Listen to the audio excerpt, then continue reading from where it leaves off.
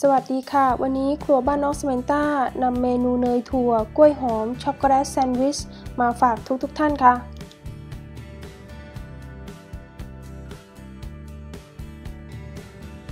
ในขั้นตอนแรกให้คุณเตรียมขนมปัง 3 แผ่นค่ะ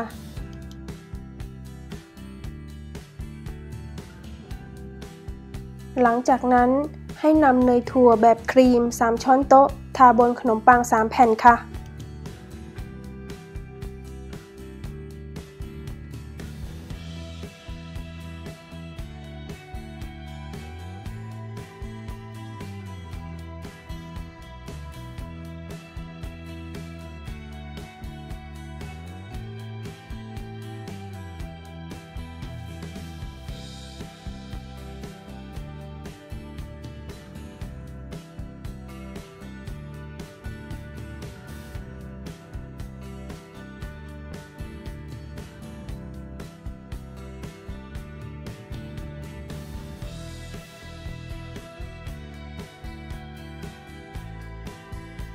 ในขั้นตอนต่อมา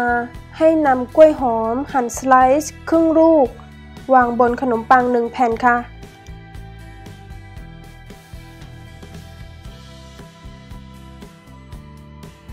เมื่อวางกล้วยหอมเสร็จแล้วให้นำช็อกโกแลตที่สับเป็นชิ้นเล็กๆ 40 กรัม วางตามลงไปค่ะ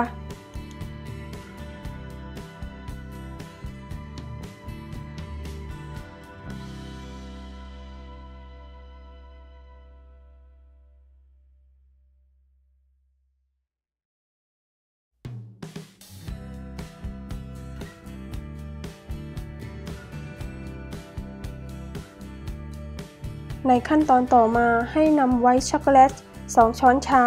ที่หั่นเป็นชิ้นเล็กๆ แล้ววางตามลงไปค่ะ หลังจากนั้นให้นำขนมปัง 1 แผ่นด้านที่ทาเนยถั่ววางตามลงไปค่ะ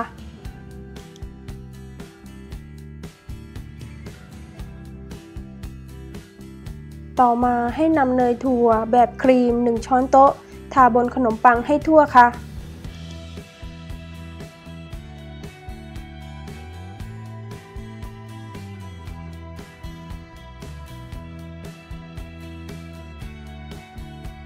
หลังจากนั้นให้นำกล้วยหอมอีกครึ่งลูก ที่หั่นสไลด์แล้ววางตามลงไปค่ะ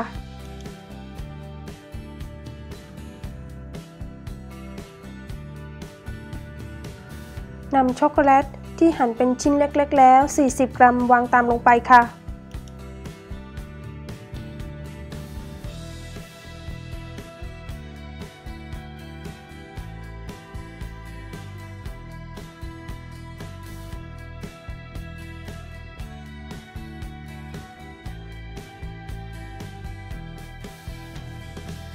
และนำไวท์ช็อกโกแลตที่หั่นเป็นชิ้นเล็กๆ แล้ว 2 ช้อนชาวางตามลงไปค่ะนำขนมปังที่เหลืออีก1ชิ้น ใช้ด้านที่ทาเนยถั่ววางตามลงไปค่ะ และใช้มือกดๆ เพื่อให้แซนด์วิชแน่นติดกันค่ะนำเนย 2 ช้อนชาอุณหภูมิห้อง ทาบนขนมปังค่ะ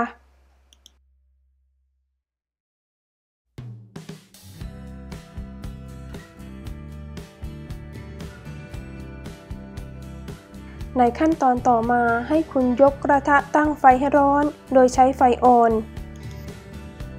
และนำขนมปังด้านที่ทาเนยแล้ววางลงในกระทะค่ะ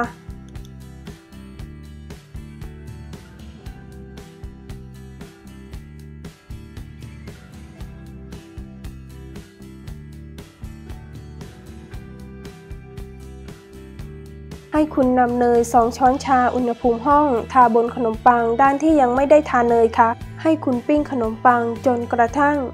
ช็อกโกแลตละลาย และขนมปังมีสีเหลืองสวยทั้งสองด้านค่ะ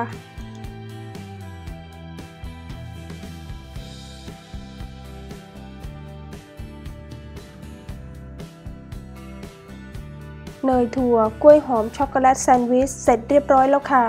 ตัดผ่าครึ่งและเสิร์ฟได้เลยค่ะ ขอบคุณทุกๆทท่านที่รับชมวิดีโอนี้ ไว้พบกันใหม่วิดีโอหน้าสวัสดีค่ะ